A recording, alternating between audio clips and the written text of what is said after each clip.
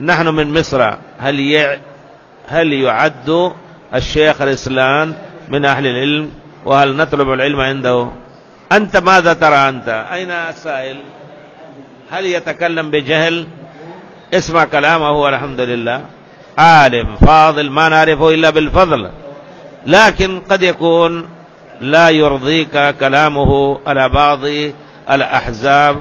وهذا الذي لأجله ربما تكرهه الله أعلم. لكن الرجل إن شاء الله صاحب حق ويتكلم بالحق ويسيح بالحق ويصدى بالحق والناس يسبونه أمامه